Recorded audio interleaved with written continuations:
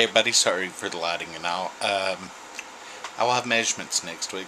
Let's see how bad I failed this week. Because I have ate like a pig. I think sometimes this thing's more bipolar than I am. I don't think I gained 2.9 pounds. I hate being over 300.